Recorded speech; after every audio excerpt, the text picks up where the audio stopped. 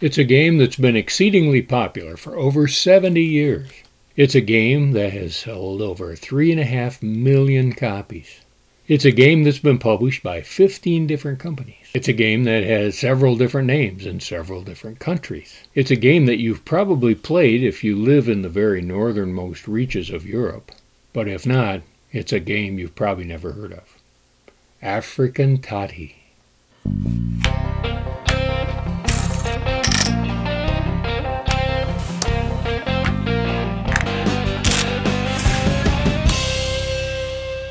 Yeah, three and a half million copies in over 70 years. That blows away a lot of the competition. There are a lot of games about geography. There are games about travel. Uh, they usually have a series of goals for you to fulfill as you travel about the planet or around a certain country. And this is like that. According to BoardGameGeek.com, this is the most important Finnish game ever. That is not the finish line, that is the country Finland. The game was first invented by a fellow named Kari Mannerla back in 1949, and the first edition came out by a publisher called Alga.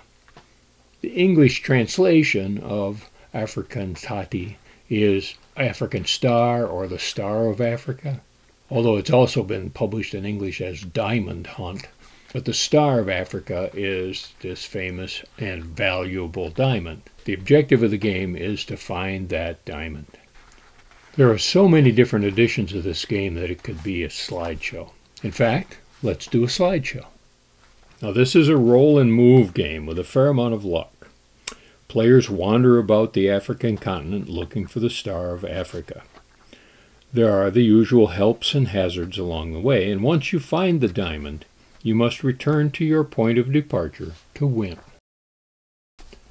There has been only one rule change since the first edition, a rule that avoids a player getting stuck on an island for the remainder of the game. Interesting that the game was played for over 60 years without this rule change, and still remained so popular. Here are the rules, just briefly, uh, based on an English translation by Kevin Fratto.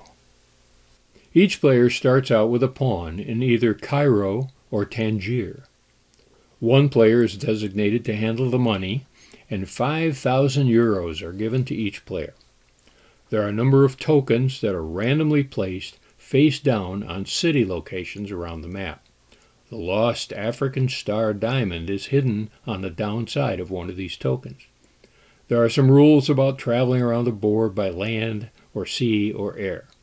A die determines the distance in every case, but to travel faster or to reach islands, that costs money. Each time you reach a city with a face down token, you may pay 1,000 euros to flip it over and see what happens. You may find nothing there, but there might be gems that will earn you more money, or a robber that steals your money. Some locations have special actions as well, some good, but mostly bad. When somebody finds the lost diamond, they try to get back to Cairo or Tangier, whichever was their starting point, to win the game. However, some of those tokens on the board are visas. Those allow a player to win without finding the Star of Africa if they get back to their start point first once the star has been found. That's just a brief overview of the gameplay. A certain level of excitement there, I think. If I had a copy of the game, I could get into more detail and really show you how the dynamics of the game work. I have found some copies online for sale, but a little bit out of my budget to get a game shipped over here from Finland. If anybody wants to send me a copy of Afrikan Tahti, I would be eternally grateful. So it's the best selling game I never heard of. If you play Afrikan Tahti, let me know what you think, and let's find out what makes it so popular. Meanwhile, be sure to play every day.